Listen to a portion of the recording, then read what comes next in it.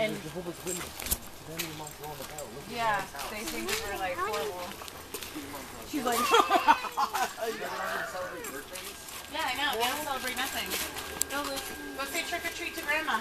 Yeah, we'll get lots of candy for What the heck? grandma. Now this thing's putting out fog. Smells like soup. Say trick or let's treat. go. For grandma, your bag.